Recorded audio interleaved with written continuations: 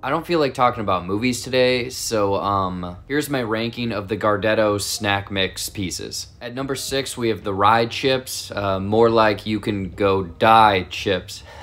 am I am I right? Oh, okay. Pretzels are number five. You've had one pretzel, you've had them all pretzels. Breadsticks, but the ribbed variety.